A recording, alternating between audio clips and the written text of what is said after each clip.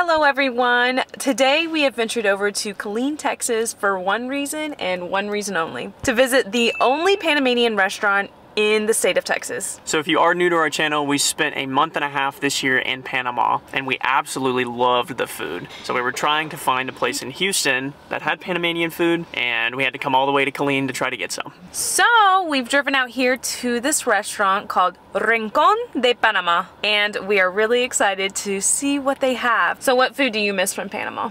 I miss patacones and hojaldre. That's just pure carbs, so. I also really miss all of the fresh fish and fresh fruit. Oh, and the coffee. That was just our first country that we'd gone to in Central America. So this is like a really fun way to kind of go back to that for yes, us. Yes. So we're gonna reminisce and enjoy the food, but let's go, let's go inside because we are hungry. Let's go.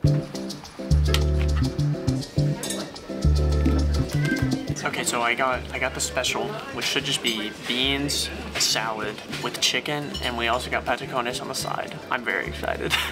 So we did order the same thing. Andrew was gonna get the plato de Panama, but the frijoles sounded really good, so we're both getting that. Also, we've been ordering in Spanish. It's a good review. this is I thought it was frijoles. We got our little pyramid of rice. We've got some pasta noodles and some chicken. And patacones are coming out.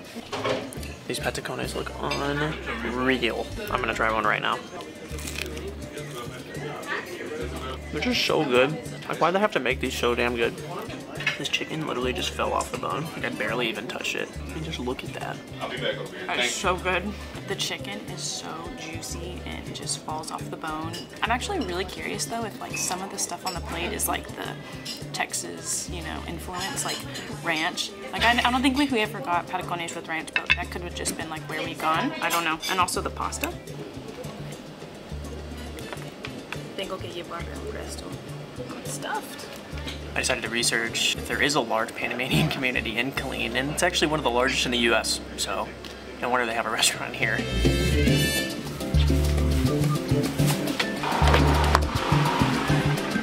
Well, that was absolutely amazing. Yeah. That food was spectacular and the environment was spectacular and we had actually met three Americans who grew up in Panama. So shout out to Kyle, Stephanie, and Mike. Uh, it was really wonderful meeting y'all and hearing about what Panama was like during that time. But the food was fantastic. The patacones were fire. Those were my favorite. And they were very, very nice. So it's a really small little local place here in Killeen. So if you're in Killeen, you have to make sure you stop by. But thank you so much for watching this video. We hope you enjoyed it, especially if you're from Panama. Let us uh-huh. know what you thought of the food. And we will see you in the next one. Ciao!